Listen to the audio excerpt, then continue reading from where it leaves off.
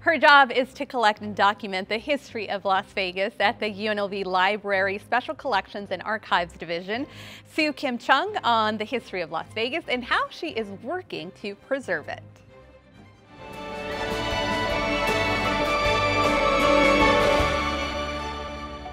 Support for Nevada Week in person is provided by Senator William H. Hernstadt. Welcome to Nevada Week in Person. I'm Maria Silva in for Amber Renee Dixon, who is out on maternity leave. Thank you so much for joining us.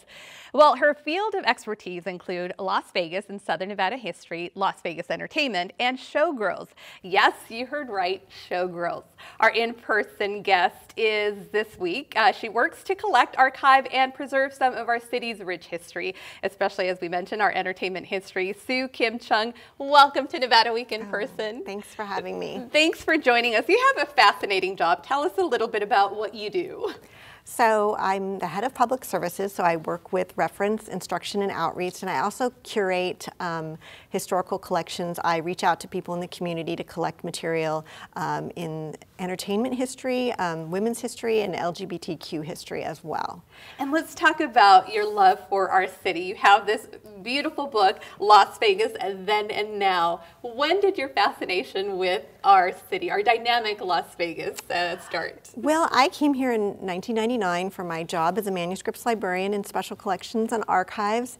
And um, I had been, I had studied European history in college, and I really didn't know anything about Las Vegas history, but I soon really got absorbed in it. I was working with historical documents and photographs every day. So um, I started in 1999, and they first approached me to do Las Vegas then and, then and now in uh, 2001.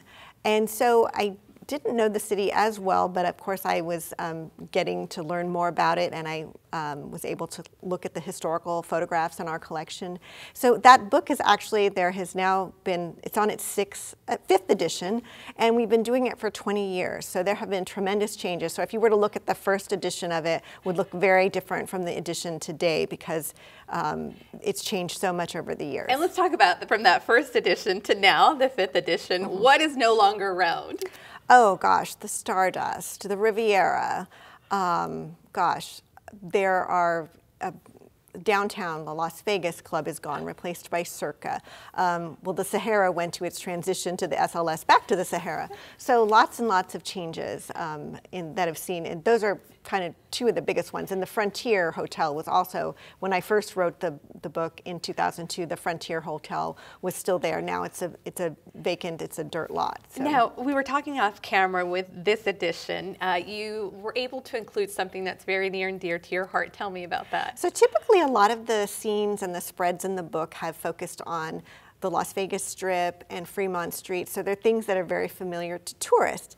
And I, this time I wanted to feature something that was a little bit more for the community, not that it isn't appealing to tourists as well, but I asked if we could include the Arts District.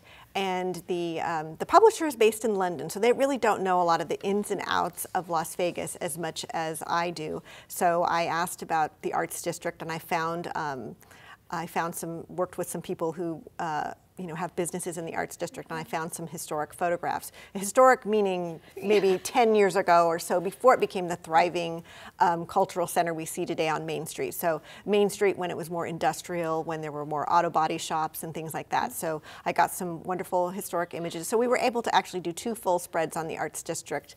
Um, so I was thrilled about that, to feature some of the public art and the transformations of, of some of the industrial businesses into like thriving like restaurants today and, and clothing and different kind of retail outlets as well. And what I do love about this book are those photos, those photographs then and now. They're beautiful. Mm -hmm.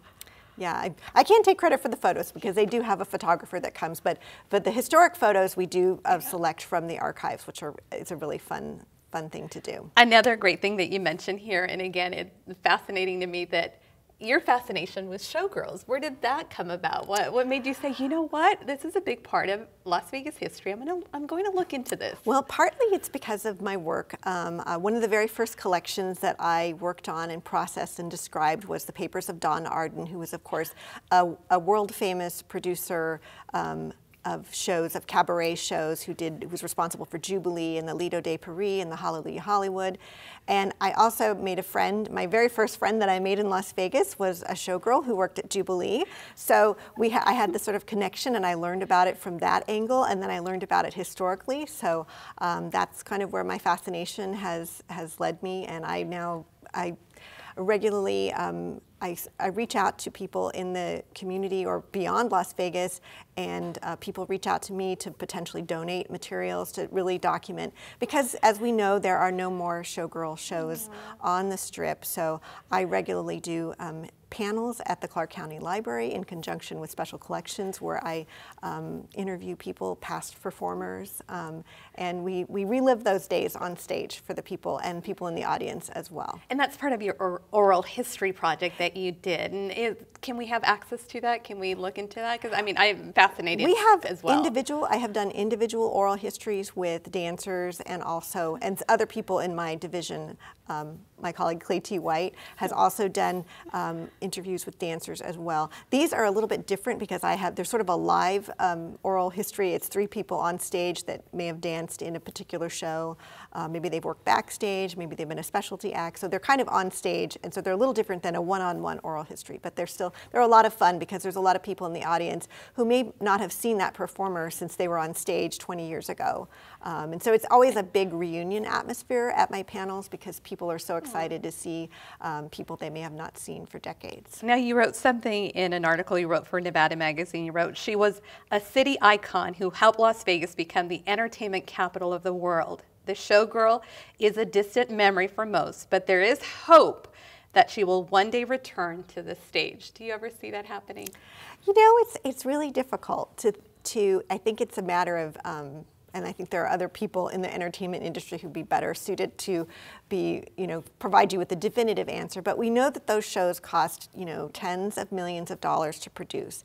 And at the time uh, when they were done um, in the 50s and 60s and 70s and 80s, sometimes they were loss leaders for the casino. So you would come in to see the show, but then you would end up gambling. So they kind of relied on maybe if they didn't make money because they had to put out a lot of money to produce the show, um, they had somebody that was going to come in, you know, a couple was going to, husband and wife was going to come in to see the costumes and the beautiful dancers and showgirls, and then um, the husband or wife would gamble, so they would kind of make up that money. So it's a little bit different today. Um, you know, the show, the shows kind of are self-sufficient and they have to be produced. So not a lot of people have that that amount of budget to create one of those big production shows.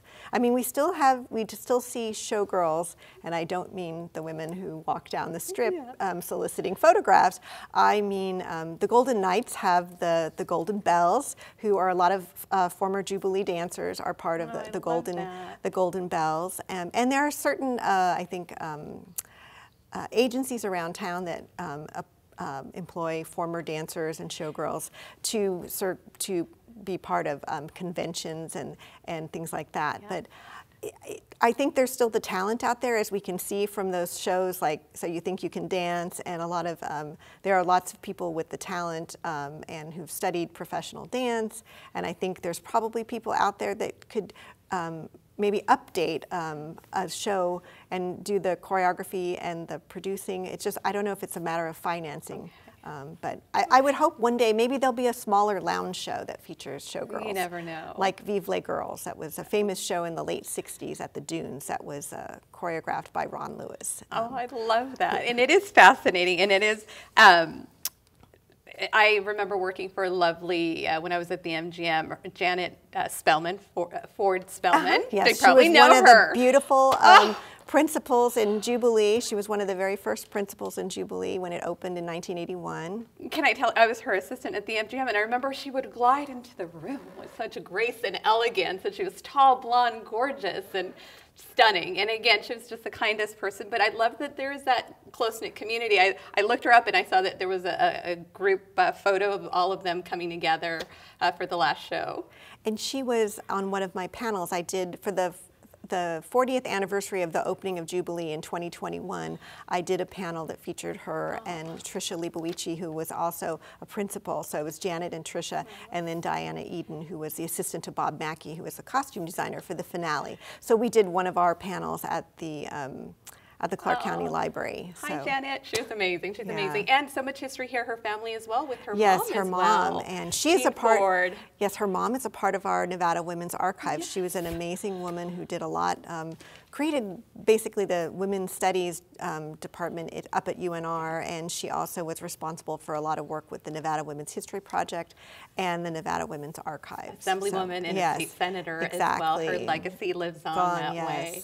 Now let's talk a little bit about Nevada. Uh, women here in Nevada. I was also fascinated to learn that you did your dissertation, Mm-hmm. correct, on uh, Jeanne Wier, who just so happens to be, um, she was the founder of the Nevada Historical Society, correct? Which is so fascinating. When did that happen? Back in the day, and the fact that she was already a trailblazer. Yeah, so this was in 1904. She was one of, of, of several founders, but she was the, sec, the first secretary for the Nevada Historical Society up in Reno, which was the first repository for historical materials and cultural heritage in the state. So that was 1904. And um, back east, I mean, I had to do, because I did um, my dissertation on this, I know that in back east, the historical societies were generally a men's domain. So I think Nevada is a trailblazer in that our historical society was headed by a woman who was really dedicated her life to the history of Nevada. And it was really due to her work and perseverance and traveling all over the state.